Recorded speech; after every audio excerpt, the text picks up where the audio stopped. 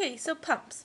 Um, we have a glossary of pumps if you're more interested in the topic, but really what a pump is to is used to do is to obtain water from below the surface, so underground water, and to move a fluid through a fluid system, you need to use something that will work against the pull of gravity. So that's a pump.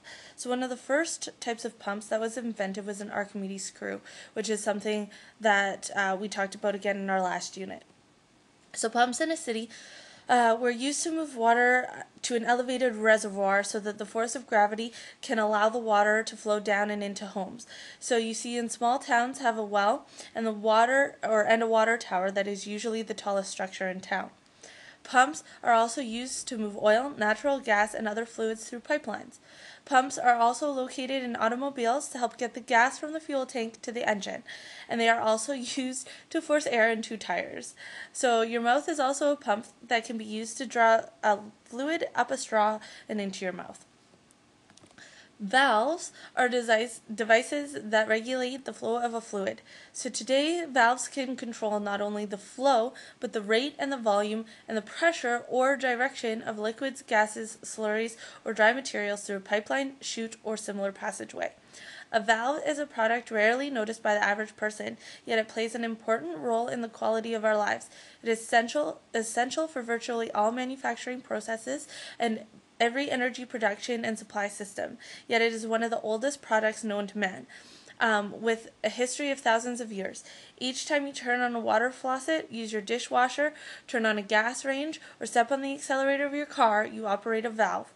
Without a modern valve systems, there would be no fresh, pure water or automatic heat in your home, there would be no plastic utilities, and beyond wool and coal, there would be no energy of any kind plastics would be unheard of, and there would be many inexpensive com- consumer products. Or, sorry, as would many in- inexpensive consumer products. Valves can turn on and off, regulate or isolate, control the flow of all types um, from the thinnest gas to the highly corrosive chemicals, superheated steam, abrasive slurries, toxic gases, and radioactive materials. They can handle temperatures from in the cryogenic region to the molten metal and pressure from a high vacuum to thousands of pounds per square inch. The range in size from a fraction of an inch to as large as 30 feet in diameter, and they vary in complexity from a simple brass valve available at your local hardware store to a precision designed, highly sophisticated coolant system control valve made of an exotic metal alloy in a nuclear reactor.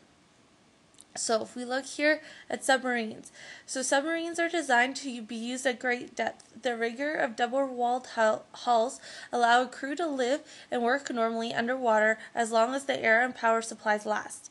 Submarines can steer by turning a rudder left and right, and the propeller moves the sub through the water, pushing against the water and creating a forward force. How submarines work is inside the submarine there is a container called ballast tanks. If these are full of air, the submarine will float, even though it is made of steel, and the average density of the submarine works out to be less than that of water. By pumping water into the ballast tanks, the submarine can sink. This is because when the ballast tanks are full of water, the submarine has a greater density than that of water.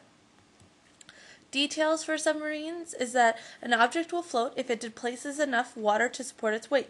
Subs don't sink because their metal shell or hull surrounds a volume weighing less than or equal to the amount of water. Subs can sink, rise, and float underwater if they maintain neutral buoyancy.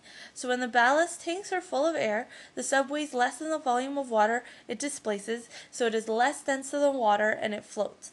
When the ballast tanks is flooded with water, the sub weighs more than the water that it di- displaces, so it is more dense than the water and it sinks. Um, to rise again, the sub reduces the density by pushing compressed air into the ballast tanks, and this air forces the seawater out, and the sub goes upwards towards the surface.